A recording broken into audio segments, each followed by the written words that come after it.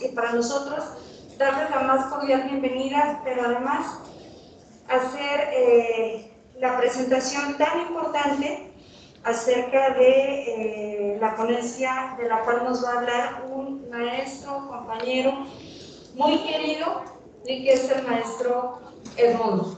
¿sí? Edmundo Pérez.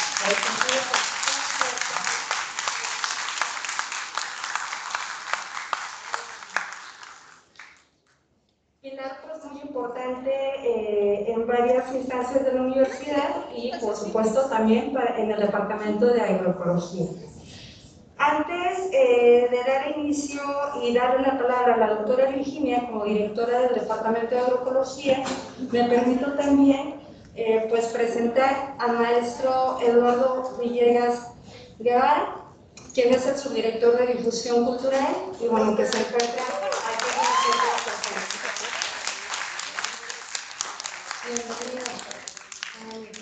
y bueno, pues también eh, a otros profesores de la comunidad y seguramente llegarán más compañeros, amigos y amigas del maestro Mundo. Cedo la palabra a la doctora Virginia. Hola, buenas tardes. Pues una cordial bienvenida a nuestro querido maestro Edmundo Arturo Pérez Godínez Efectivamente ha sido un pilar fundamental en la agroecología desde dentro de, la institución, pero eh, hacia afuera un gran promotor en el sentido más amplio. Eh, solamente leeré una pequeña semblanza de la trayectoria del maestro con prácticamente 40 años de eh, trabajo continuo, incansable, fructífero, dentro de nuestra universidad. Él es biólogo, eh, egresado de la Escuela Nacional de Ciencias Biológicas del Instituto Politécnico Nacional, maestro en biotecnología por la Universidad Autónoma Metropolitana Unidad Iztapalapa y candidato a doctor en biotecnología por la misma eh, universidad. Es profesor investigador de tiempo completo en la universidad, en esta Universidad Autónoma Chapingo y eh, desde 1981 eh, dando frutos. Varios de ustedes creo que apenas estaban en proyecto. Eh, ha ocupado diversos cargos en la universidad. Ha sido coordinador general del área de biología en el departamento de la preparatoria agrícola de 1984 a 2017. O sea, ha tenido una huella importante ahí también. Director del Departamento de la Preparatoria Agrícola eh, de julio de 1985 a octubre de 1987.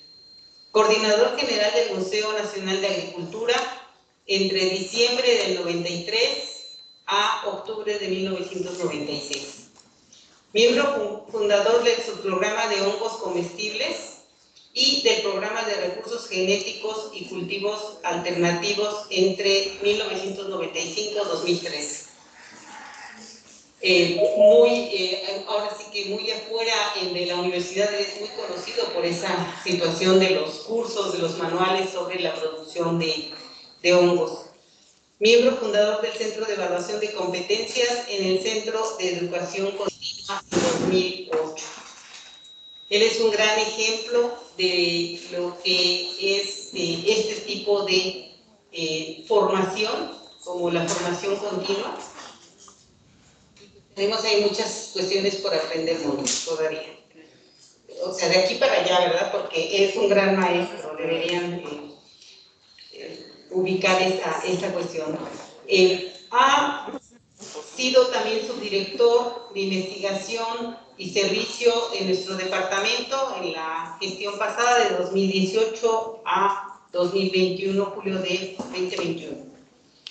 Eh, ha impartido 30 cursos de producción de hongos comestibles en coordinación con el Centro de Educación Continua y Servicios Universitarios de la Universidad eh, ha impartido 12 cursos eh, a productores en coordinación también con el SEC eh, sobre producción de abonos orgánicos y lombricomposta entre 2009 y 2014, cinco cursos de capacitación de producción orgánica y uno de producción de hongos comestibles a la Central Campesina Cardenista 2015-2016, cursos de capacitación para la certificación del dominio de competencias a técnicos agroecológicos de la SADER, eh, como parte del sistema interinstitucional de certificación, acreditación de competencias.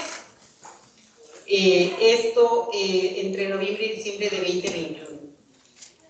ha hecho numerosas presentaciones en congresos, foros nacionales e internacionales, ha tenido una convención mundial. asimismo, ha sido, bueno, una de las de las tesis que fue eh, premiada con eh, la distinción Arturo Pregoso Urbina al mérito académico en 2018. Eh, él fue el asesor de esta tesis, contribución a la conservación de, to en, Sí, porque está en, en, este, en Toloma Abortibum en remanentes de bosque de niebla.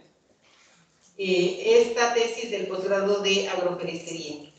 Además de eso, eh, sabemos eh, de este gusto, de esta pasión, ¿verdad? Por la música, la lectura, el canto y el chikung, que ya nos platicará qué es. Pero le damos la palabra, un caluroso aplauso de bienvenida para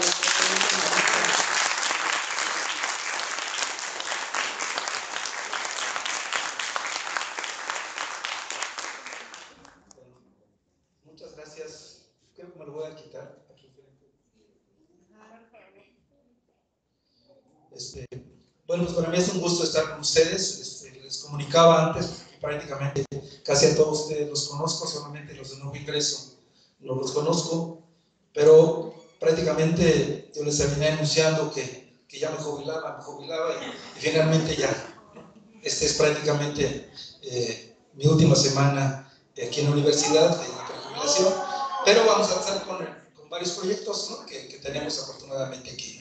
Pues para mí es un gusto compartirles parte de lo que yo considero que me cambió mi vida, mi proyecto de vida cuando yo vine aquí a Chapingo. Estos 40 años que, que cumplo acá, pues prácticamente han sido de aprendizaje, no solamente con los compañeros, con los alumnos y con muchas comunidades. Y eso a lo largo de la plática les voy a tratar de decir por qué me cambió la vida y por qué le planteamos como un proyecto de docencia alternativa de educación alternativa y como un proyecto de vida. Esta imagen que ustedes están viendo es una imagen donde ven ustedes allá en Popocatépetl, en rumbo a, a, Morelos, yéndose por Jutichepec antes de llegar a Mecameca. Entonces ven ustedes, este es más o menos, el, esta, esta imagen es de, del 85 más o menos, ¿no? Aquí ven ustedes un cultivo de, de manzanilla para té en esa región de Cuchitepec. Cuando llegamos, nos encontramos que ahí había producción de test, ¿no? Y nos llamaba, nos llamaba mucho la atención. Bueno, pues en este lugar fue donde prácticamente aterrizamos en gran medida un proyecto de educación, un proyecto que se le llamó docencia alternativa o proyecto propedéutico. La que sigue, Bien, lo que les voy a platicar va a ser en cuatro fases. La primera es cómo se creó este proyecto cómo surgió, cuáles son los ejes fundamentales que nos llevaron a construir este, este proyecto. Esto lo, lo hicimos del 84 al 85 y como ahorita les decía este, la doctora Virginia, yo entré a la dirección de preparatoria en julio del 85. Ya habíamos madurado y de hecho nosotros, yo llegué al, al, al departamento de preparatoria con ese proyecto que ya lo veníamos trabajando de implementar una forma diferente de enseñanza. Entonces yo entro en julio del 85 y prácticamente en el 86 ya implementamos el proyecto en un año lectivo para dos grupos de propedéutico y donde teníamos prácticamente ya cubiertas todas las materias de esos dos grupos. Se les hizo la invitación a quienes quisieran participar, no se los, se los impusimos, hicimos una invitación para que los que quisieran participar en este proyecto pues, se, se, se anotaran en este proyecto que le llamamos proyecto propedéutico o de docencia alternativa. Y aquí me voy a centrar en gran medida donde ya habíamos madurado prácticamente dos años antes del 84 al 85, y después me voy a centrar qué logramos, hasta dónde nos quedamos, y le voy a dejar una parte de, de preguntas, ¿no? Espero dejarles un buen espacio y, y, generar mucha inquietud para que ustedes puedan, puedan preguntar. Eh, lo dejé hasta ahí, ya no quise entrar en lo que viene después, que es prácticamente cuando se crea después la, carrera de agroecología. Pero todo esto tiene un antecedente. Entonces, eso es lo que, vamos a, lo que les voy a platicar el día de hoy. La que sigue. Bueno, bien, eh, como les decía, esto fue en, en el 84, hace 38 años, y nosotros en ese entonces esta propuesta hay muchas versiones de cómo se creó. Algunas versiones plantean que esta propuesta se creó porque había un encuentro y había un planteamiento del cambio de planes de estudio, ¿no? Y que a partir de esto se, se creó esta propuesta, pero no fue así. La, la, la propuesta en gran medida surgió, el compañero que ustedes acá arriba con el sonido, es nuestro querido compañero José Luis Mesa. Uh -huh. José Luis Muez era parte del comité ejecutivo. Nosotros como sindicato, se conformó el sindicato en el 82 y del 83 por dos años, 82-84. El maestro formaba parte del comité ejecutivo y en ese entonces, pues la, la, la, situación política, la situación de participación era muy interesante, muy importante. Entonces él como había una gran cantidad de trabajo, no teníamos nosotros compañeros que nos ayudaran en el equipo, eran puros profesores, él nos llamaba para engargolar, para trabajar la propaganda, para trabajar el material con el que nosotros íbamos a difundir. Y cuando se empezó a hacer esto, de repente ahí engrapando, doblando los, los, informes, todo esto, pues empezamos a darnos cuenta de que algunos le dábamos clases al mismo grupo. ¿No? Y ahí empezó Mesa con Jorge Ocampo, con Marisol, y luego empezaron, empezamos a ver que, ah, pues están nosotros compañeros biólogos que también le dan en ese grupo, pues ¿por qué no trabajamos conjuntamente? ¿no? Ya no de manera aislada. Entonces, ahí fue donde se empezó a gestar este trabajo colectivo para poder dar una enseñanza que fuera más allá de lo que estábamos de nuestro país. Ese es el cómo se fue dando, cómo nos fuimos conformando a partir de la práctica, a partir del, del, de, de, la, del, de, la, lucha por, por, por, el, gremio, y a partir de eso pues nos empezamos a dar cuenta de que pues, teníamos una potencialidad muy alta, porque podíamos, de hecho, cubríamos muchos grupos y podríamos trabajar Ese es un elemento fundamental. Pero el otro es este contexto que había entre el 84 y el 85 entre el 4 y el 85 había movimientos este, campesinos muy importantes. Y aquí en la región había tres movimientos. Vanguardia Agrarista Popular Mexicana, el Frente de Lucha del Agua, Tierra y Libertad. Estos dos formaban parte del Movimiento de Liberación Nacional. Y el otro que estaba aquí en la zona era la Coordinadora de Defensa de los Recursos Naturales de Texcoco. Había estas tres organizaciones campesinas con una actividad política y de movilización muy fuerte. Y la otra parte que, que nos prácticamente nos fue dando ya el empujón final fue los viajes de estudio. En los viajes de estudio pues empezábamos a salir ya conjuntamente, ya salíamos un agrónomo, un biólogo y un sociólogo. Ya nos íbamos en el viaje de estudios y se complementaba prácticamente el viaje de estudios. Entonces, esa es la forma de cómo empezamos a trabajar ya no de manera individual, sino ya de manera colectiva, ya con una, con una inquietud en términos de que pudiéramos entender esa complejidad a la que nos estábamos enfrentando y en, en gran medida, pues como nosotros estábamos eh, eh, viendo esos movimientos y como estábamos también participando en una organización, en, nuestro, en nuestra organización sindical, pues teníamos que participar ¿no? y tener claro quiénes estaban movilizando y sobre qué se estaban movilizando.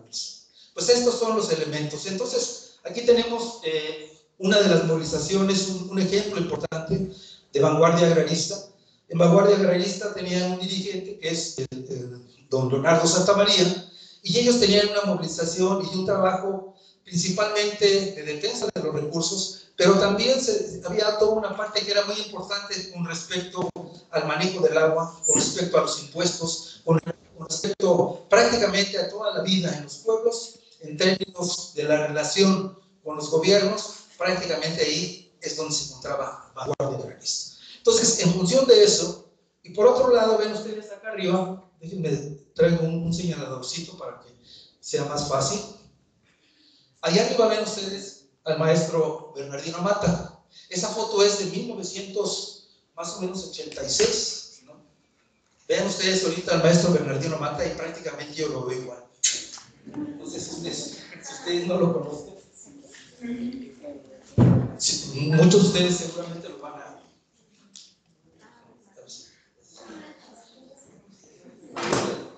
Bueno, entonces, había un trabajo muy importante en el, lo, que es, este, lo que era el, Departamento de Trabajos del Campo y con, el, con un grupo de profesores también de, sociología rural y se formó un movimiento que en ese entonces se llamó el DASAYA, un trabajo muy importante de vinculación y de trabajo en diferentes comunidades. Y aquí una parte interesante es que Bernardino Mata y Sinesio, ¿no? este, maestro de sociología, pues ellos también empezaron también a nosotros preguntábamos, ¿no? Más o menos cuál era el, trabajo que ya, tenían ellos parcelas demostrativas ahí en ese entonces, aquí en esta zona, ¿no? Pero una parte que a mí me llamó mucho la atención era la solidez del maestro Sinesio. ¿no? Sinesio conocía todo el proceso productivo y de repente nos daba un panorama general. Todo el mundo nos quedábamos, íbamos como biólogos, pues a ver ¿no? la parte natural. Pero de repente ya nos dábamos cuenta que el trabajo que tenían ahí en, esta región, pues era un trabajo ya de años y con un planteamiento diferente. Eso nos llevó, entonces, gracias. Esto nos llevó entonces aquí está Bernardino Mata, aquí está este, el maestro José Luis Maestra, es, él es el secretario de organización del, del en una movilización, que era prácticamente lo que más se tenía, en ese contexto de, actividad es donde surge este proyecto.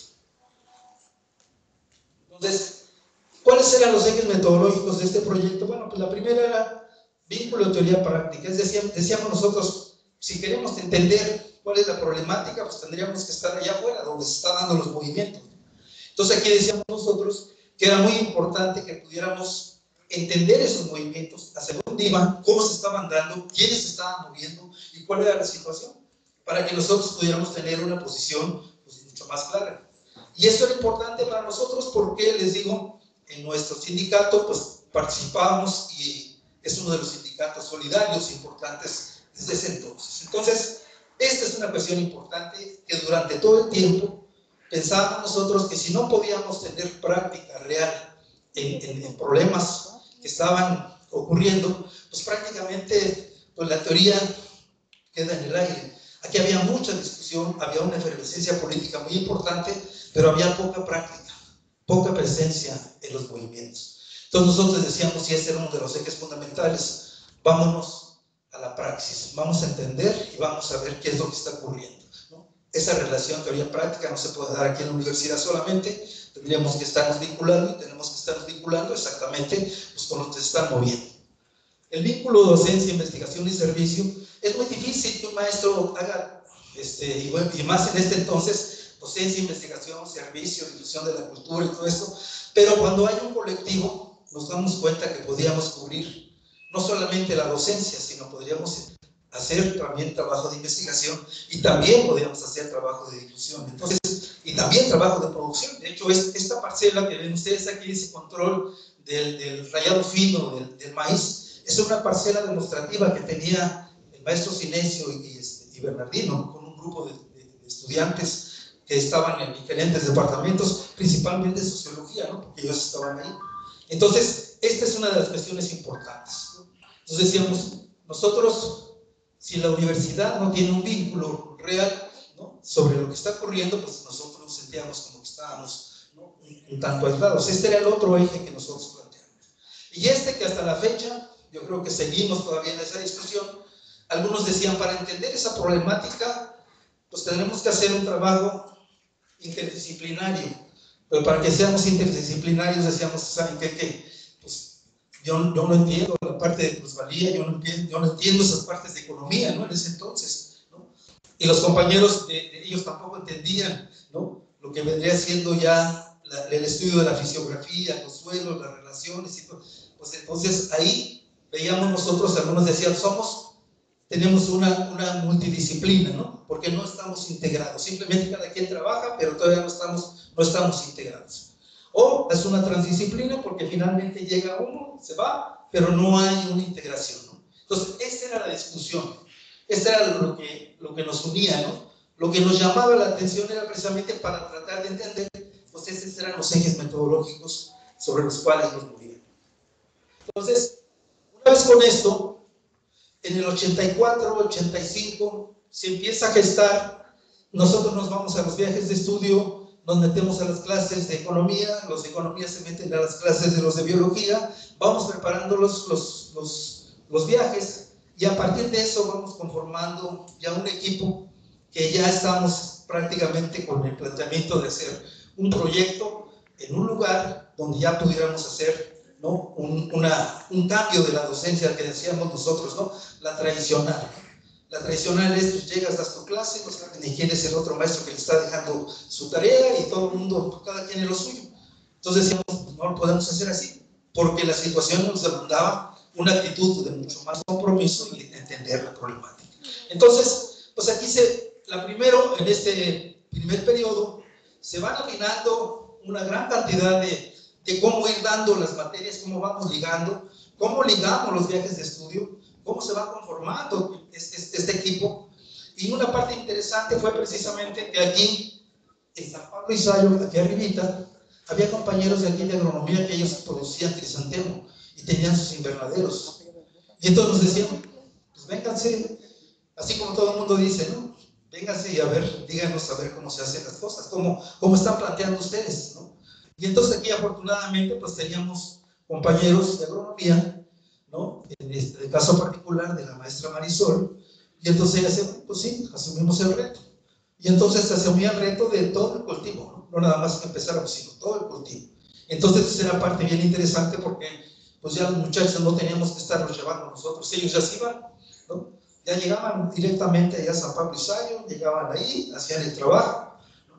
Y de repente pues nos dimos cuenta ahí que cosas bien interesantes, ¿no? Cuando se hace un manejo, no este, en este caso todavía no hablábamos de agroecológico, sino de orgánico, pues la, la, idea era que para el 2 de noviembre pues, se requiere que estén las flores. Y acá con todo el trabajo se adelantaron más de 15 días, ¿no? Entonces. Imagínense 15 días, ¿no? La flor, el santemo, pues prácticamente ya su valor va perdiendo. Entonces, nos fuimos empapando, enfrascando, ¿no? Entendiendo todo este proceso y esto nos dio la madurez importante, como para decir, ¿saben qué? Ahora sí ya vámonos a, a buscar un lugar donde podamos poner, donde podamos enfrentarnos. ¿No? Y entonces, ya para el, para el 86-85, yo les digo, yo entro en, el 80, en julio del 85, todavía estábamos en esto. Para el 86 nosotros les hacemos el planteamiento ya de la propuesta a, a los de propedéutico, ya teniendo todo este equipo de trabajo, y con más vinculación ya no solamente con las áreas de biología, sino con compañeros de fitotecnia, compañeros de irrigación, compañeros de otras especialidades que considerábamos que nos, nos podían ayudar para poder hacer este trabajo. Entonces aquí se decidió Chalco Meca Meca y había tres opciones. Había trabajar aquí en Teotihuacán, la otra opción era trabajar en Tlaxcala, donde también había un trabajo importante los compañeros del TEDCO allá por Españitas, y la otra opción era Aquí hay una parte bien importante porque eh, de todo este trabajo que les digo del 84 al 85 y todo esto, y esa práctica y esa, todos esos esos metodológicos que les decía, pues prácticamente ya surge un documentito que se le llamaron las nueve tesis educativas. Ahí después ya, este, ahorita vamos a sacar una publicación y les doy este anuncio, ¿no?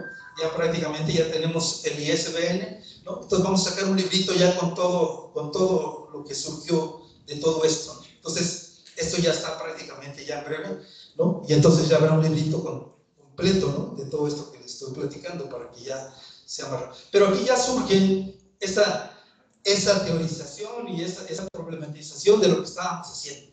Salen nueve tesis educativas en términos de qué es lo que estamos haciendo. Y pues aquí una parte importantísima es Jorge González Duera. Jorge González Duera viene de la Universidad de Guerrero, de la Universidad Pueblo, donde tienen una vinculación, un trabajo importante y lo mismo, una represión también, ¿no? Desde punto de vista del presupuesto y una serie de cuestiones más, pero él llega acá y cuando llega acá, una de las partes importantes es que en el trabajo que se fue haciendo en San Pablo y Sayo, él nos empezó a hablar del, del montano, mesomontano y piemontano, nos ubicábamos ahí en, en cuanto a las condiciones fisiográficas, pero después nos dábamos cuenta que eso también influía en la parte económica, en la productiva, en el tipo de, de, población que había ¿no? en cada uno de los lugares, y entonces eso le dio todavía muchísimo más riqueza. Esto, esta, esta cuestión importante, fue lo que nos decidió eh, que seleccionáramos Chaco, Meca Meca, como el lugar donde deberíamos de trabajar. ¿no? Y ahorita les voy a explicar ya con más detalle por qué. Aquí en, en, Chapingo, les digo, a pesar de que empezamos a trabajar desde el 84, 85, 86, hasta el 87, después de un fatídico y un, accidente muy fuerte, que nos pegó muy fuerte a todos, se empezó a visualizar un poco más el proyecto. Mucha gente lo conocía, pero más o menos no, no, no sabían a, a, ciencia cierta de qué. Pero a partir, vean ustedes aquí, este es Zapingo de enero de 1987, y aquí empiezan a decir, ¿no? Empiezan a, a publicarse, ¿no? ¿Qué es lo que se estaba haciendo? Entonces aquí sí se, hace, se hace un recorrido con los muchachos en la zona de Chalco a Meca Meca. Ya más o menos acá ya se había discutido si era Teotihuacán. Teotihuacán era muy plano, ¿no? Decíamos ahí como que nos faltaría un poco más de, de diversidad. Y pues se decidió finalmente en Chalco a Meca Meca. ¿no? Y otra cuestión también importante es que había un trabajo político y había vínculos muy importantes con Vanguardia Agrarista Popular Mexicana. Entonces, esto nos decidió a irnos a, a, a, esta zona. Si ustedes se fijan aquí, aquí están los dos volcanes, ¿no?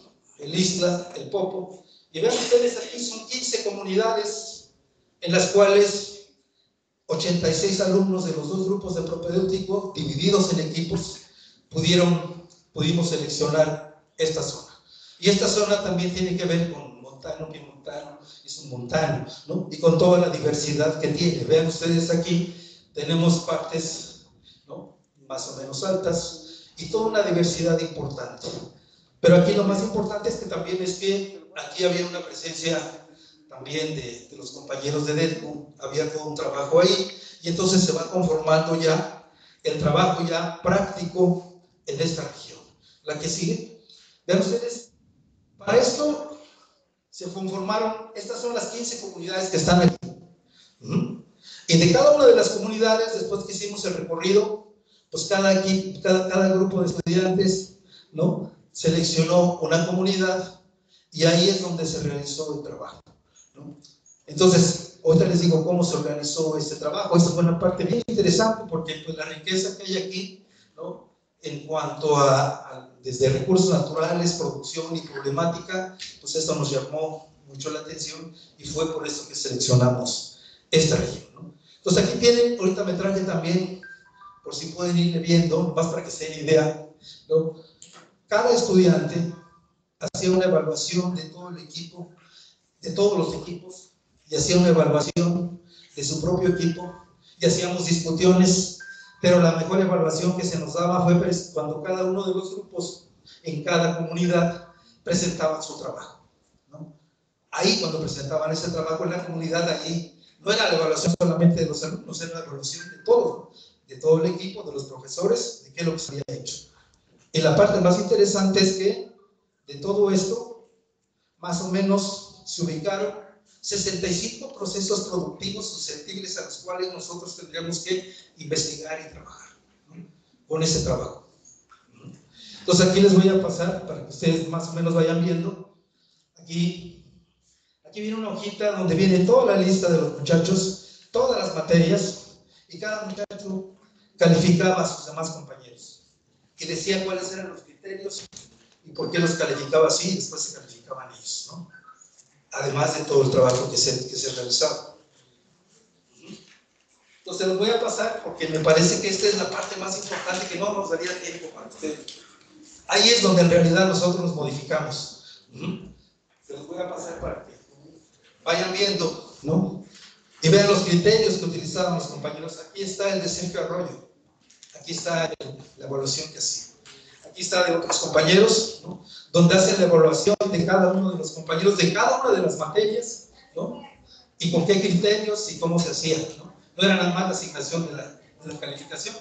Pero les digo, la parte más importante era cuando ellos explicaban el trabajo en la comunidad. Cuando había quien, llegaba y empezaba a hacer palabras así que no entendían, pues luego, les bajaban y ¿no? siempre la parte interesante era cómo nosotros después ¿no?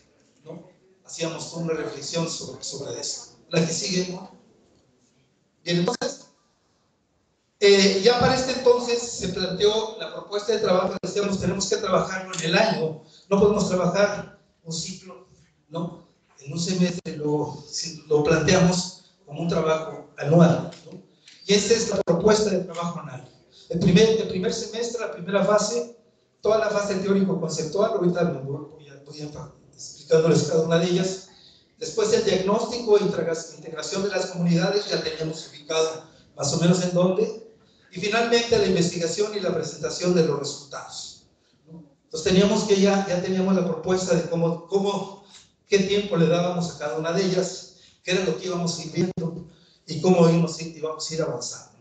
La que sigue. Entonces vamos a ver la primera fase. Ya. Entonces aquí, como decíamos, aquí una cuestión importante era, lo primero, pues todo, toda la parte básica de las biológicas. Este. Era aquí en el aula, ¿no? Ya sabíamos a dónde teníamos que ir. En ese entonces todavía no, había Google ni nada de esto, pues hacíamos viajes, ¿no? Para ir reconociendo la zona, y viendo que trabajaba ahí, para ir más o menos teniendo una referencia, ¿no? Entonces aquí la parte importante es de que nosotros, y esta es la parte que, que yo creo que después valdría la pena que pudiéramos hacer un análisis de, de, cuál era la discusión que se estaba dando en ese entonces, ¿no? En ese entonces se, se planteaba que, que, era la relación suelo, agua, irrigación y la atmósfera, el agua, ¿no? Pero aparte de esto, ya con una visión ya un tanto más enfrentada a la realidad, lo que se empezaba a ver que era la ecología la que le daba ¿no? el marco general a todo esto. Y entonces eso fue parte de lo que nosotros ya llegamos con esta propuesta. Y entonces se presentaron los cursos, pues, las botánicas, la sistemática, química, y después ya empezamos con economía, sociología, y después ya los procesos agropecuarios y tecnológicos. Esa era la parte básica, la primera. Más o menos el tiempo era entre 14 semanas, ¿no? Entonces, ahí había 6 a 7 horas de trabajo y una cuestión también importante que nosotros decíamos es que teníamos que dejar el espacio suficiente para que los muchachos pudieran tener espacios recreativos, espacios para, para tener ¿no? también otras actividades. Y eso fue creo que la parte más rica, ¿no? que eso, por ejemplo, no está escrito aquí, pero aquí surgieron ¿no? dos grupos importantes. Un grupo que se le llamaba los cocuchos, el colectivo cultural Chapingo, ¿no? Y por otro, por otro lado, 86 estudiantes que estaban súper integrados, que estaban en, otro, en otra dinámica, que eran los proyectiles, ¿no? Entonces, imagínense ustedes la actividad cultural, política y de acción que se venía dando después de las clases, ¿no? Entonces, esa fue una de las partes que me parece que, que bueno, ustedes esto lo van a ver con, con más con más detenimiento. Entonces, ya una vez establecidos toda esta parte, ¿no? el marco conceptual, el marco tecnológico, el marco económico, entonces ahora sí, ya pasábamos, ¿no? empezábamos a ver y se empezaba a hacer esta aproximación que les decía. ¿no? Ahora, si ustedes se fijan acá, nos podemos meter y, bajar qué tipo de suelo, entonces ya llegar ya más, ya, ya, ya es, confirmar. Aquí, pues de hecho, la ventaja es que estaba cerca, pero aquí lo que utilizamos mucho nosotros, la que sigue, aquí una de las cuestiones importantes ya fue cuando ya cada grupo eligió su comunidad, ¿no? Como les mostré ahí en el mapa, ya teníamos más o menos el, la área que a nosotros nos interesaba y entonces ya los alumnos tenían que escoger sobre qué comunidad venían trabajando, ¿no? Aquí está Heriberto, aquí está, eh, él, él ahora es maestro acá de fitotecnia, tenemos varios compañeros que, que, están, que están por aquí, ¿no? Y bueno, ya, ya escogían ¿no? el lugar donde se iba a desarrollar el trabajo. Y una de las cuestiones importantes es de que pues teníamos esta, esta, este cobijo, esta, esta organización de vanguardia guerrista donde se podía realizar este trabajo con, con, mucha confianza. Los muchachos se podían ir ya directamente, no, no dependían de nosotros para llegar al trabajo, podían hacerlo. Esa era otra cuestión también muy importante. Entonces, en esta fase de, diagnóstico y de integración en las comunidades, pues ese primer recorrido y esa vinculación, pues eso fue lo que permitió que cada quien escogiera esas comunidades, esas 15 comunidades sobre las que se trabajaron. La que sigue. Entonces, como les decía, ya la tercera fase de investigación en las comunidades, aquí en gran medida, una de las cuestiones importantes, por eso lo pongo en el primer plano, es esta parte de, del trabajo nosotros le sacamos jugo a todo esto porque nosotros teníamos, después hicimos cuentas y teníamos 60 días de trabajo de campo con el mismo presupuesto. De tal manera que nosotros podíamos hacer un viaje corto con todos los maestros, ¿no? con los de agronomía, porque los viajes cortos los organizaban los de agronomía o los de biología. Entonces aquí lo conjuntábamos y hacíamos un viaje que nos permitía que íbamos a Soquiapan, Soquiapan ya más o menos lo teníamos muy claro cómo estaba. Llegaban los meteorólogos, nos explicaban toda, toda, la, toda la, la parte importante del sotavento, el y todo el rollo así bien interesante. Y luego ya los biólogos, aquí están estas condiciones. Y ya prácticamente teníamos toda esa visión y llegábamos hasta Teotihuacán. ¿no? Ya cuando llegábamos a Teotihuacán, pues prácticamente ya habíamos pasado toda esa parte, los muchachos ya habían visto ya diferentes este, sistemas de producción y todo esto. Entonces, esos viajes de estudio, esos, esos viajes cortos, pues se traducían prácticamente en confirmar toda la, la parte previa. Entonces, este es como nosotros aquí una de las cuestiones importantes es de que pues ese, había tres viajes, ¿no? El generacional y la cuestión de lo que serían los viajes cortos. Entonces, prácticamente aquí ya en la tercera fase, ya con todo este ya toda esta formación y con todo, todo un trabajo que se desarrolló, pues prácticamente ya ellos tenían que dedicarse a hacer ya el trabajo, a hacer el diagnóstico y presentar su trabajo ante la comunidad. Aquí está Héctor Bernal, ahora es el doctor Héctor Bernal. Trabajo muy, interesante, y entonces ellos eran los que ya explicaban los resultados a los que había llegado. Con una claridad que teníamos era de que no podemos nosotros imponer, no podemos hacer planteamientos si estaban en, en propedéutico, tenemos que entenderlo, tenemos que respetarlo y les vamos a decir cómo, es lo que estamos viendo. Esa es una cuestión importante nosotros que, que, se tenía. Y aquí es donde les digo, se empezaron a ver ¿no? Esa, ese espacio ¿no? donde ya las mujeres empezaron a, a, a despuntar ¿no? en gran medida. ¿no? porque pues ya teníamos los foros estudiantiles sobre la situación de las alumnas, los equipos de fútbol de mujeres, el trabajo ¿no? intenso. Y bueno, pues aquí es donde les digo, surge estos dos movimientos culturales importantes, los cocuchos y los proyectiles, ¿no? con actividades muy, muy, muy intensas. ¿sí? Entonces, aquí hago un paréntesis porque en el 85 y en el 86 se empezaba ya a ver una de las problemáticas que, que se tienen, ¿no? y vean ustedes, es las condiciones de vivienda de los que viven externamente. ¿no? Y entonces aquí tenemos, para mí, el único rector que hemos tenido en la universidad, y es una, es una apreciación personal, el doctor Ignacio Méndez Ramírez, le tocó exactamente en ese periodo estar en la, dirección de preparatorio, y me di cuenta exactamente de lo que es pensar a largo plazo, tener una visión de largo plazo. Y les voy a platicar dos anécdotas, dos nada más. La primera es que cuando llegaban a quererle discutir de la comida y todo esto, salía, se los explicaba y prácticamente todo el mundo salía casi regañado, de, lo que se trataba, ¿no? qué es lo que tenían y qué es lo que estaban pidiendo y entonces prácticamente eran, era una, una cuestión así de, de, claridad. Él planteó la construcción, esta es el, el, la, la visión que se tenía en ese entonces de construir viviendas de autoconstrucción. Esto significaba un recurso bastante fuerte. ¿no? Y él, cuando llegó a la rectoría, en patronato puso al ingeniero Roberto Domínguez. Algunas gente les decía, oye, pero ¿por qué pones a Roberto Domínguez si ese era del otro grupo? Dice, yo soy rector de la universidad. yo no soy rector de mis cuates, soy rector de la universidad. Y entonces uno de los proyectos que tenía precisamente era la autoconstrucción.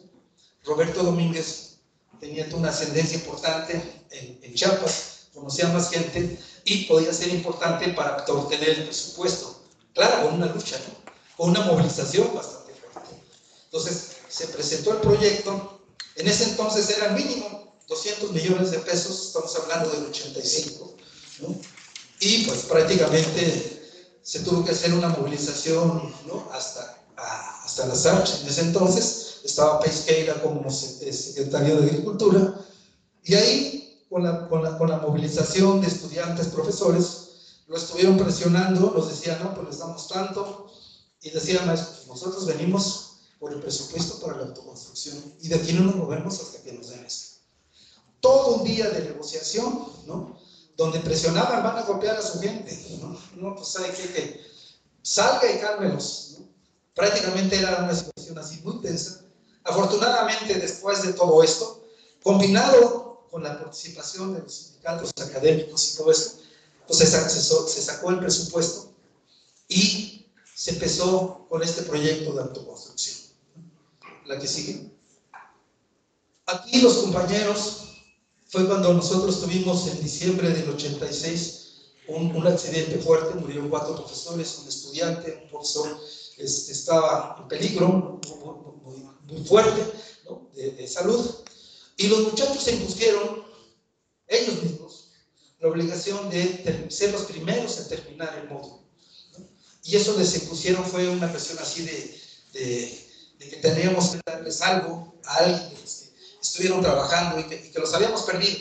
Y entonces, pues prácticamente terminaron el primer módulo de autoconstrucción, los, los compañeros del proyecto, y después fueron con los otros compañeros en el otro módulo 7, y así sucesivamente. Y así se construyó autoconstrucción, con esa lucha y con esa visión de un rector que tenía eso, ¿no? que decía, mis estudiantes y mis trabajadores tienen que estar en las mejores condiciones. Y con esa lucha, y con esa visión. Entonces, así surge. Y aquí ven ustedes cómo empieza, ¿no? Aquí está una de las compañeras Laura, desde cómo empieza, ¿no? El trazado, la cimentación. Y el primer coordinador de la construcción, de autoconstrucción, fue Alejandro García, que muere en diciembre, después asume ese, ese, esa, ese trabajo el compañero Mesa, y se, y se hace realidad autoconstrucción. La que sigue. Esta es ahora la unidad de servicios habitacionales de autoconstrucción. Vean esa imagen que estaba allá. Esa imagen se concreta con una visión de este tipo, de largo plazo, de compromiso con los estudiantes, profesores, la universidad. Demuestra, demuestra que es posible hacer un proyecto de esa naturaleza, pero además ¿no? que los propios alumnos y los profesores lo construimos. Ya no quise meterles ahora, pero ahora mi casa está hecha con viguete y bovedilla, ya no le puse varilla. Esto está aquí, y una de las principales plantas productoras de todo esto está aquí en Tizaluca, es mexicano, ¿no? Entonces uno se queda sorprendido cuando esto, vean desde cuándo se construyó, cómo está. Prácticamente hasta ahorita es la única Ahorita, bueno, vean ustedes ahorita ya todo esto, ya tienen sus calentadores solares, ya prácticamente hay una serie de cosas más. Pero eso requería no solamente construirlo, sino involucrarse y apropiarse de esto. ¿Sí? Entonces, aquí lo que nosotros decidimos también, ya después regresando, es que, pues, los que viven en autoconstrucción tienen que tener por medio, tienen que tener, y de hecho, una de las cuestiones importantes que empezamos a trabajar con los que coordinan toda esta unidad de habitacional, era la educación, en contra del despilfarro, en contra de todo esto, y el reciclamiento. Y en eso entramos nosotros otra vez, ¿no? Ahí, con, Olga y con otros compañeros, a los que acaban de entrar, pues nosotros les decíamos, mira, así se hace el reciclamiento, mira, nosotros los llevamos, reciclamiento lo, lo convertimos en composta, les dábamos todo esto, y los que quisieran incorporarse, pues que se incorporaran. Entonces aquí ven ustedes lo que había ya incluso por de enero a junio, el total eran 3.545 kilogramos en un semestre de materia orgánica, ¿no? de muchos que nada más le dan una mordidita a la manzana y la ¿no? de materia mucho, muy, muy interesante que se podía reciclar. Entonces volvemos otra vez a regresar en esto, la que sigue.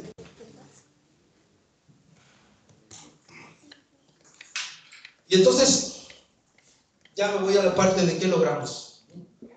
Lo primero es cuestionar nuestras formas educativas, es, en final de cuentas, criticar nuestra forma de vida, el conformismo.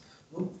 Nos dimos cuenta de eso y por eso les digo que a partir de esto, nadie de los que participamos ahí pudimos trabajar de manera tradicional. Prácticamente esto, esto nos cambió.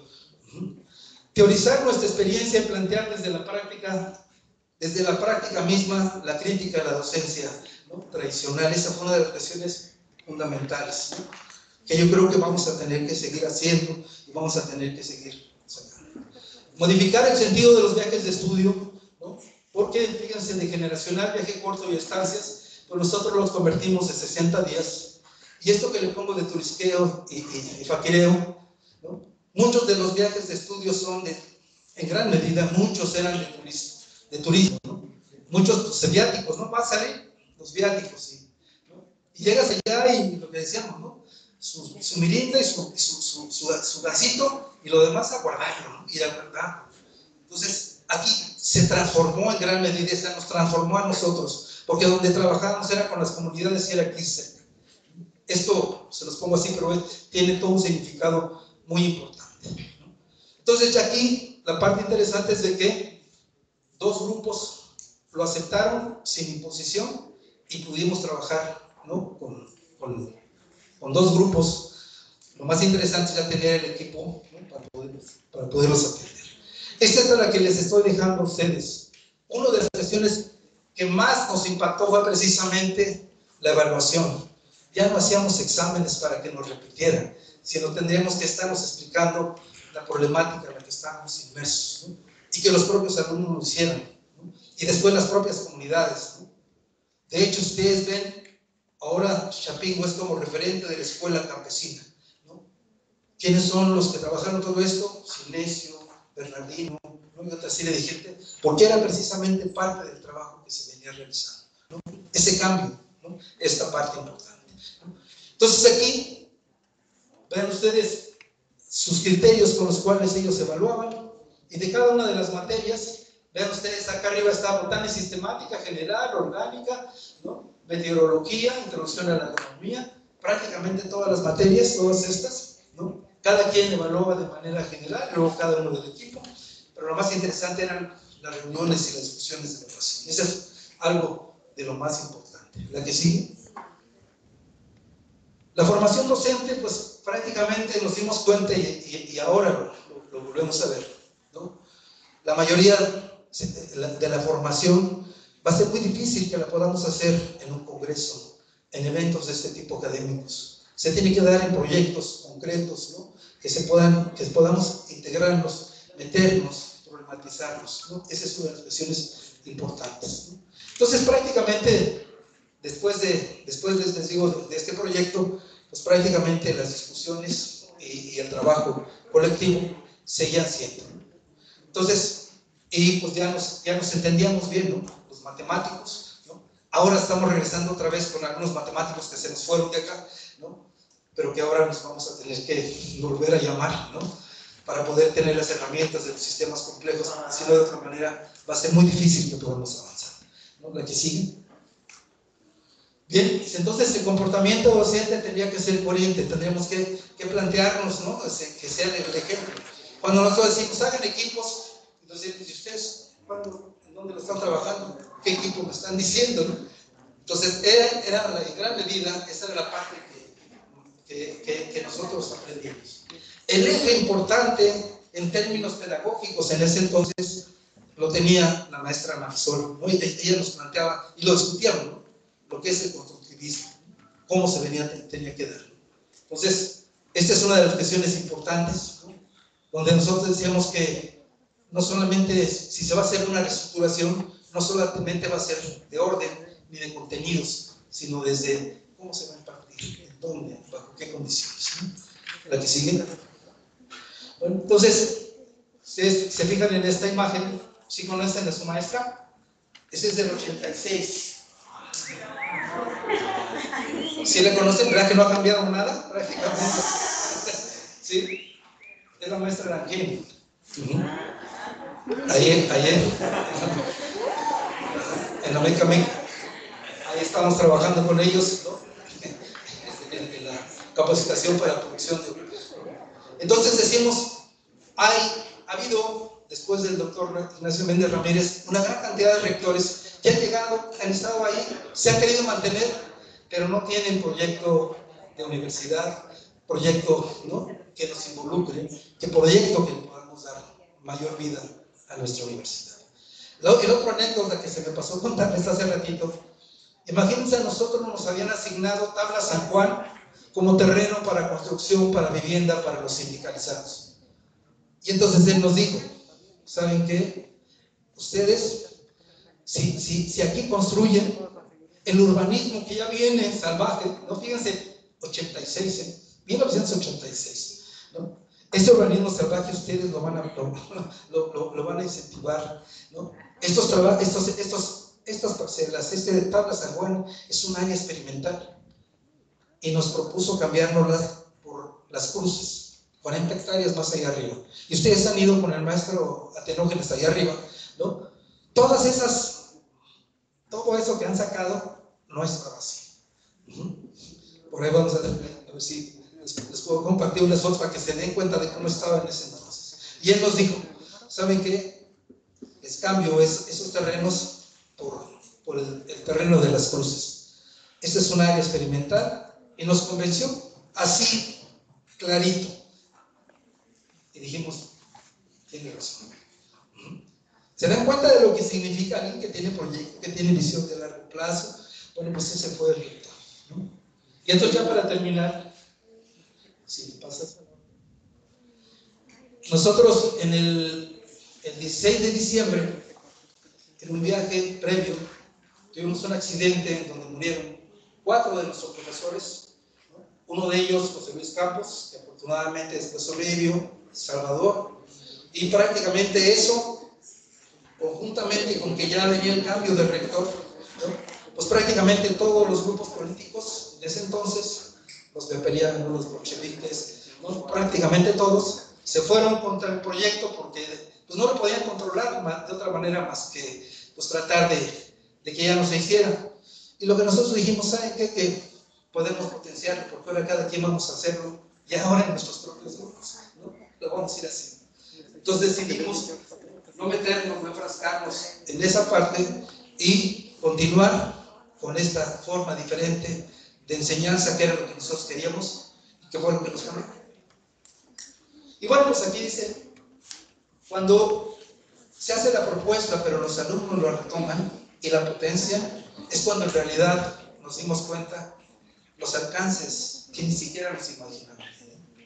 Entonces, y termino con esto que, que dice Edgar Morino, un deber importante de la educación, armar cada uno en el combate vital para la lucidez. Creo que así de sencillito es algo que nos estamos enfrentando. Pues bueno, ya llegamos a la parte de las preguntas y con todo gusto.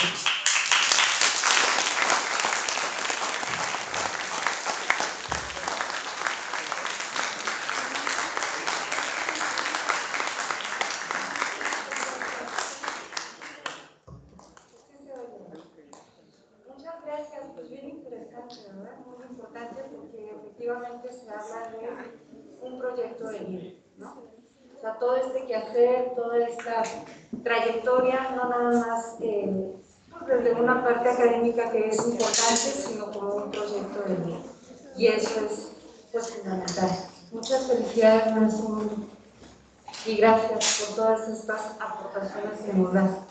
Y bueno, abriríamos la ronda, por favor, para preguntas y participaciones breves.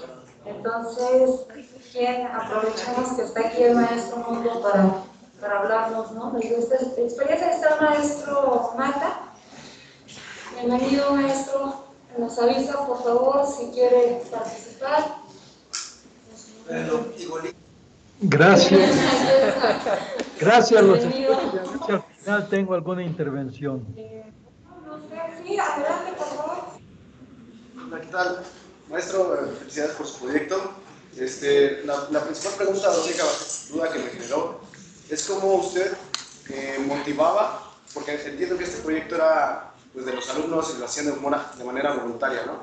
Pero yo creo que siempre una persona que está encabezando el proyecto es importante que esté motivando a, a, los colaboradores, ¿no? Entonces, bajo su experiencia, ¿cómo usted motivaba a esos, a esos alumnos del propedéutico de manera emocional para que ellos pudieran seguir trabajando? Porque me imagino que, que es importante seguir motivándolos desde alguna parte, porque será muy voluntario, pero siempre hay que motivar a esa gente, ¿no? Entonces, bajo su experiencia, ¿usted cómo los motivaba en la parte emocional? Gracias. Creo que la motivación fue al revés. Los muchachos eran los que nos motivaban cuando, empezamos a trabajar y les proponíamos ¿no? las, el trabajo, las experiencias que había. La respuesta era prácticamente inmediata. Nunca nos, nunca nos pusimos a ver que eran 86 formas diferentes, con culturas diferentes, que convergían y que incluso se potencializaban en gran parte de esto. Entonces nosotros éramos parte más de esto el ejemplo que les ponía aquí de autoconstrucción, nosotros llegábamos, hacíamos la mezcla, nos juntábamos, éramos parte igual. En nuestro rector, allá Trepa, él llegaba a los programas voluntarios que hacían los fines de semana. de Ramírez llegaba a trabajar, a trabajar allá al centro. Ustedes, si ven a un rector, si ven a su maestro que está trabajando, pues, ¿qué, más te podemos hacer? Esa era en gran medida. Y la otra cuestión que ya tampoco les mencioné es que había toda una propuesta de reestructuración de la universidad. Después de mucho tiempo de purgas en el 76, que bueno, pues todo eso después ustedes ojalá que lo busquen, lo encuentren, el doctor Ignacio Méndez Ramírez tenía una propuesta para romper los feudos en la universidad. Tenía una propuesta que era una estructura matricial. Una estructura matricial que nos decía que podíamos ¿no? potenciarnos si todos los biólogos pudiéramos darle servicio a toda la universidad. Es decir, podríamos incluso atender a mucho más alumnos, pudiéramos tener una vida académica mucho más intensa, mucho más fuerte, no individualizada, no en estímulos, no en este tipo de cosas, era otra cuestión. Entonces, en, en realidad nosotros estábamos bien jóvenes, ¿no? Yo recuerdo cuando llegué acá, pues prácticamente, cuando llegamos en esto, pues, eh, teníamos 30 años, 31 años, ¿no? Pues prácticamente casi nuestra relación era muy, muy, cercana, no había esa, esa brecha generacional que ahora tenemos. Ahora tenemos eso, y es lo que yo sí quisiera que ustedes entiendan, entiendan ¿no? Tenemos esa brecha generacional donde ya, ya no estamos jovencitos, pero, pero todavía hay ánimo, ¿no? con muchos compañeros de, de impulsar, de hacer cosas. En gran medida era, era eso, y hasta actuábamos fuerte, muchachos, ¿no? todavía en ese entonces era, era muy intenso, ¿no? era una vida intensa. Es, yo creo que ese va Muy interesante la pregunta, ¿no? Por supuesto. ¿Quién más? ¿Hay alguien que quiera participar haciendo preguntas o ¿Tengo? Ah, sí, adelante, por favor. Sí, gracias, buenas tardes. Antes quiero preguntar si ya pasaron las fotografías. ¿No? Eh, nos permite eh, hacer la presentación, una pequeña presentación. Mientras respondo un poquito a la pregunta que hace el compañero, eh, una disculpa también porque no terminé de editar un, una, un pequeño presente que de último momento estábamos preparando para el profesor. Es que mi, mi máquina ya está viejita, entonces disculpen si no se logra ver.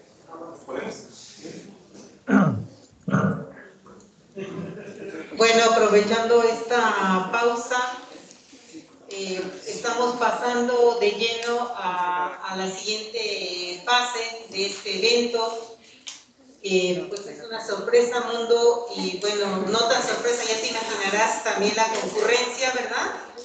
De un, eh, pues un agradecimiento, un homenaje. Eh, toda una trayectoria, eh, como dijo el maestro Mundo, eh, se jubila, uno no se puede jubilar de, de su vida, de este proyecto de vida. Quienes eh, preguntan, ¿y por qué se jubila? Bueno, ya no lo contestará, pero seguramente es para trabajar más, ¿verdad? Entonces, se preparó un pequeño organizado ahí por, que por Saraí, Dani Ocampo, eh, Claudio de Santiago, ¿verdad? Que aquí están presentes. Muchos de han colaborado muy de cerca con el maestro Mundo y eh, por ahí vamos a pasar. eh,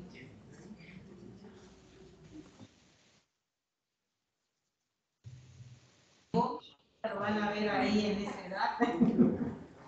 Bien, mientras lo eh, arregla el paso técnico y el compañero, eh, la pregunta es bastante trascendental y por lo que se percibe la mayoría de ustedes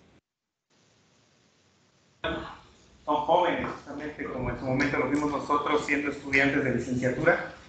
Y bueno, pregunta el compañero de qué forma se incentivaba y para entender esto, además de la explicación que puede dar eh, compañero profesor, debe haber proceso. Uno debe vivirlo justamente para eh, sí entenderlo y sentirlo. Y también para entender justamente las claves de este proceso eh, de incidencia, de transformación, de educación, de cual él, junto con su equipo, fueron promotores. Entonces yo les preguntaría, y no es que me respondan ahorita, pero sí conocen a Otilio, ¿verdad? Bueno, pues yo les preguntaría también, ¿conocen a su profesor? Y es justo una de las formas en las que se puede empezar a conocer a, a su profesor, que ya se va, pero aún así sigue siendo nuestro profesor. Ha sido profesor de varias generaciones y nosotros, algunos compañeros aquí presentes, hemos sido partícipes, hemos sido benefactores de esa palabra sabia que ha ido adquiriendo al paso de los años y de sus, eh, de sus propios procesos. Pierdan de vista ese nombre de Ignacio Méndez Ramírez, si no me equivoco, que también tiene que ver con Otilio, estadística, tiene que ver con la matemática, modelos, eh, mode- modelos de, pues de análisis de procesos, para tener justamente lo que él tuvo y para que se ubiquen en qué plano está, quién está a la cabeza, porque había un equipo de trabajo, no sé si Méndez Ramírez fue parte de ese equipo, pero seguro que había entendimiento. Entonces, en, este, en esta pequeña presentación les vamos a. Te digo una disculpa por lo horroroso que quedó. Pero justamente en él se muestran diferentes facetas. Hicimos una, una, una- un, un llamado. Este, ¿qué es esto? Eh, a nuestros compañeros colaboradores que nos hemos encontrado eh, a que compartieran una foto, una foto que eh, hiciera eh, relación con algún pasaje que tuvimos con el profesor. Y entonces ahí van a ver, pues, estimado profesor, en diferentes etapas de estos que son 40, 40 años. Eh, uno de ellos justamente es cuando yo lo conozco hace aproximadamente 15, 20 años y que afortunadamente lo tuvimos, yo ni sabía que estaba ahí, pero nosotros éramos activistas justamente 2006, 3, 4, 3 y 4 de mayo y nos lanzamos a cumplir con nuestro, nuestra labor como activistas, como agrónomos, pero también como activistas preocupados de nuestra clase social y lo que estaba ocurriendo a 12 kilómetros de aquí de nuestra casa. Atenco. Y entonces la situación estaba de nervios, de peligro, tanto que nada más escuchaba que el, el tema y mucha gente pues agarraba y se iba. Por fortuna lo tuvimos a él. ¿De qué forma nos incentiva? Yo francamente eh, tenía, algo me decía, pues mantengámonos, mantengámonos firmes porque hay algo presente que va a mantener justo esa integridad. Puedo compararlo, y ya eh, dejo de hablar, disculpen, con lo que le pasó a nuestros hermanos de Ayotzinapa. Ahí no hubo profesores que los defendieran, pero justo si el Estado no nos atacó tan directamente, es porque sabía que había otros niveles dentro de esa lucha social que estaban a la expectativa y estaban participando, y dentro de ellos estaba el profesor. ¿Ya? ¿Y lo pasamos ya? Sí.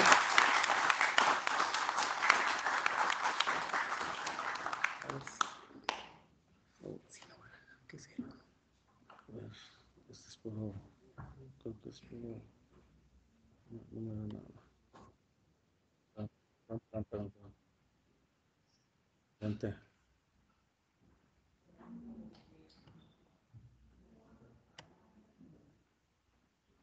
Vamos a cerrarlo y abrirlo otra vez.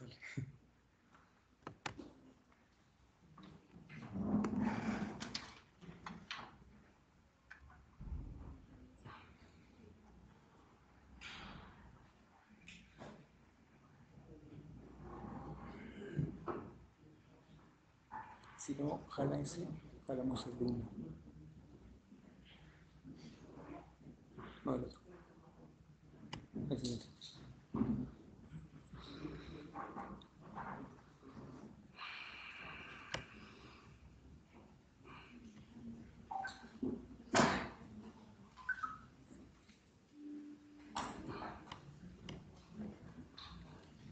¿Ese? No, el otro. Está el otro. Es una foto. Esa es la foto de la que les hablo. 2006. Ahorita va, ahorita va a pasar en el collage.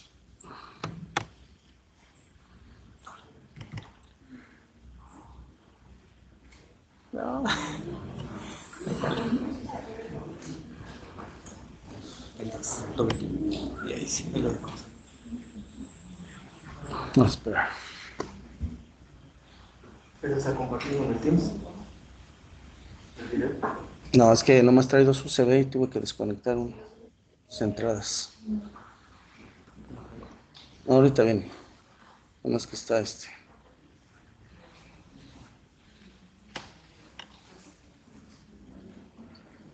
Ahí está. Ahí está. Ahí está. No, sí se grabó. Se grabó, se grabó.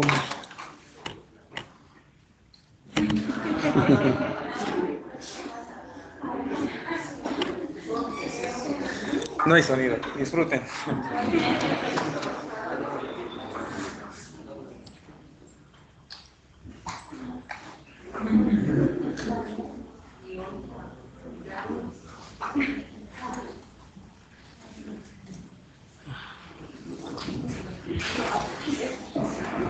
Y es esa foto, la de Atenco, 2006.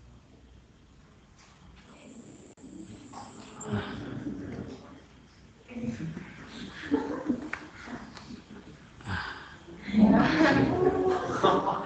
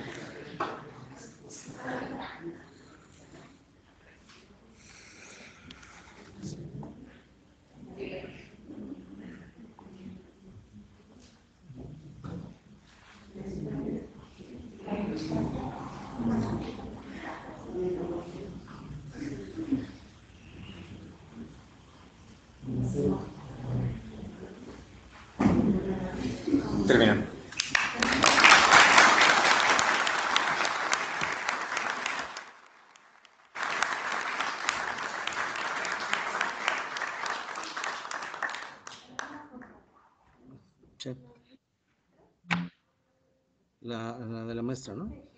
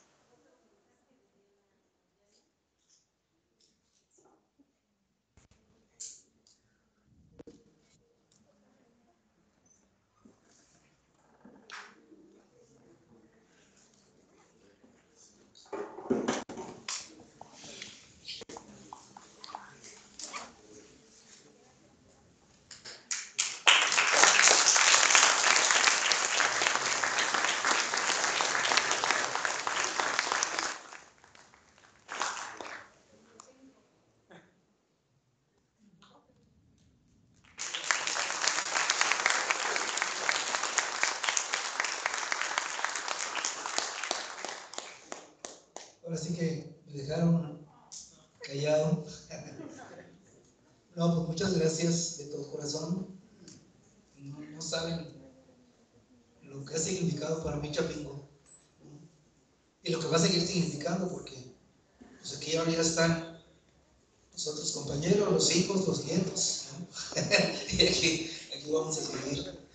De hecho, si algo me llevo de aquí es precisamente el trabajo colectivo, ese compromiso, esa sorpresa, ese hacer algo más. Y pues les agradezco, ¿no? Tengo palabras para agradecer este, este, gesto, ¿no? Y pues aprender, aprender haciendo Muchas gracias, muchas gracias.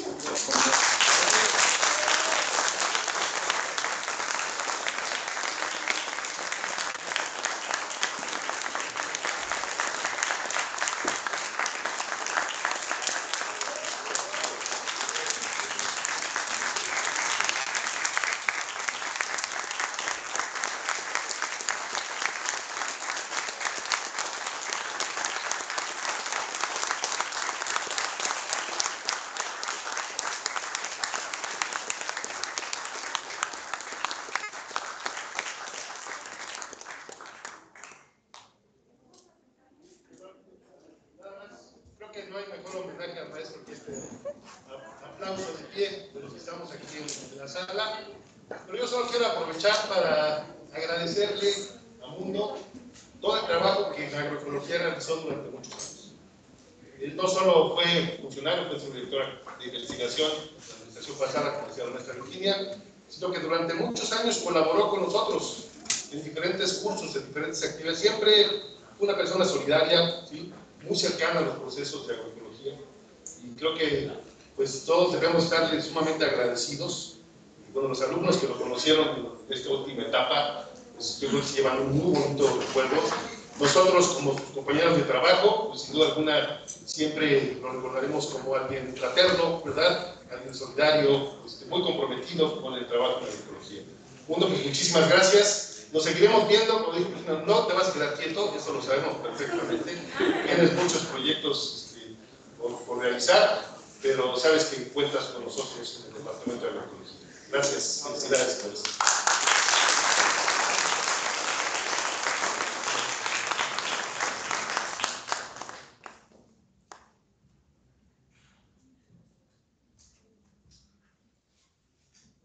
para ir cerrando, eh, pues Mundo siempre se ha puesto la camiseta, ¿verdad?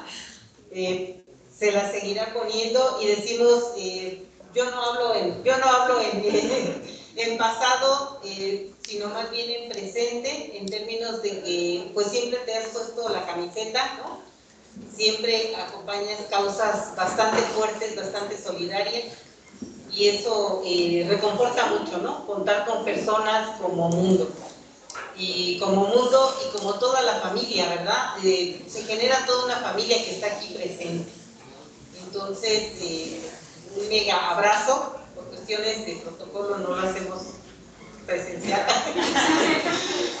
y leo un pequeño reconocimiento, Universidad Autónoma Chapingo, Departamento de Enseñanza, Investigación y Servicio en Agroecología, otorgan la presente constancia al eh, maestro en ciencias, en biotecnología, Edmundo Arturo Pérez Godínez, por impartir la conferencia magistral Proyecto de Educación Alternativa, Proyecto de Vida.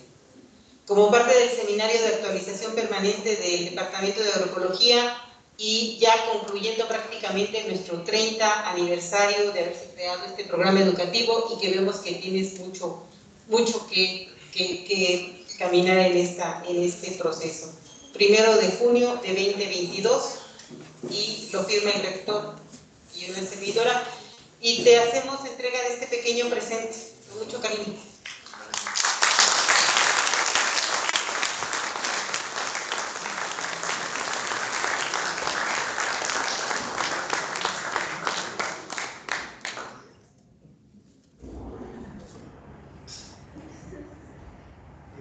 Muchas gracias. No saben la emoción que tengo ahora. Me siento, me siento muy bien y estoy seguro que, que pues nos vamos a encontrar en el camino. Seguro estoy. ¿no? Vamos a tener todavía, ojalá, algo de cuerda para seguir, para seguir acá. Ahora vamos a entrar en la faceta de escribir, ¿no? tener más tiempo para escribir, más tiempo para, para poder reflexionar sobre lo que hemos estado haciendo, que también no nos ha funcionado. Hay que ver qué nos ha funcionado, qué no nos ha funcionado. Pero yo les agradezco mucho, más que nada, su atención y que, pues, que sigan adelante. Gracias.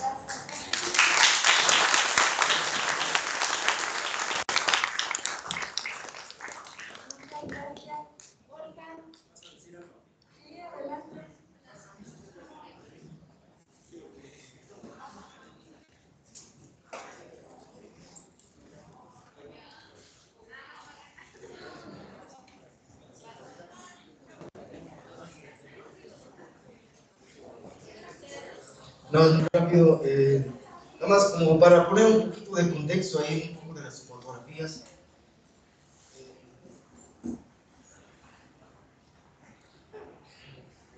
Yo soy el hijo del profe.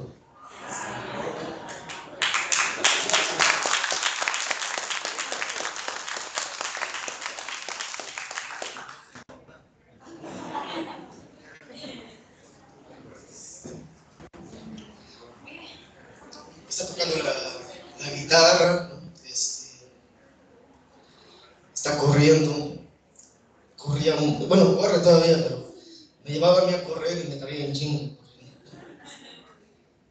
Yo acababa de salir de Puerto Fútbol Americano y tenía condición y me traía, pero en chinga, otra vuelta, otros dos kilómetros, pero ya estuvo, ya me traía. ¿no? Este, la guitarra, siempre ha- ha- me ha gustado mucho la, la guitarra, cantar.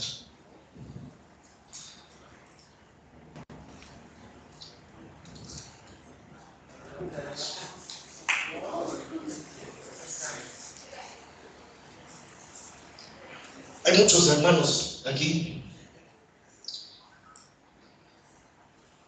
que son sus alumnos y luego fueron mis hermanos, ¿no? sus hijos. Y él los, los quiso mucho. Y a mí me ha gustado mucho eh, pues estar con ellos también, aprender. Gracias a, mi papá, pues tengo muchos hermanos. Y ustedes pues no los conozco, pero son mis hermanos también. Le gustaba mucho, bueno, le, le gusta mucho tiempo en Chapingo jugó fútbol, así fue pambolero a morir. Una pierna y una clavícula se le quedaron ahí en el pambol aquí en Chapingo. Este, siempre ha sido un, un ser humano con mucha, mucha energía. El cotorreo también le encanta, no es cotorro a morir, le, gusta pues disfrutar un buen mezcalito, unas buenas chelas, este, afortunadamente yo lo he podido compartir con él también. Este, y ahí hay una fotito, no sé si está la primera, eh, a ver más adelante, bueno, ahí están con sus amigos. El, el, campo, el bosque, colectar siempre ha sido una, una cosa que también he amado. ¿no? Este, hasta la guitarra, pero es otra, otra más adelante, donde van en una canoa. En una canoa. Ahí está. El famosísimo Apache. Es el que está atrás. ¿no? Don Mundo. Este, pues también mucho antes de venir aquí se pasó mucho por, anduvo solo paseando por la selva, años y años, aprendiendo. Y es un ser valiente, inteligente, humano.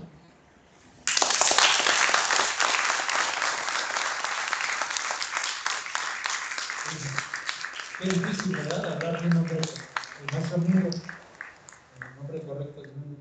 Faltaría el poema de la tarde y no me sé ninguno, pero por ahí ustedes han escuchado algunas líneas de don Bertoldo Brecht, o que dice, querido mundo, hay hombres que luchan un día y son buenos, hay hombres que luchan un mes y son mejores, pero hay hombres que luchan toda la vida y esos son los imprescindibles. Ese hombre eres tú, querido hermano. Felicidades y qué pena. Lo bueno es que no va a estar quieto, ya lo dijeron todos. A seguir luchando. Gracias por esas memorias que vas a contar.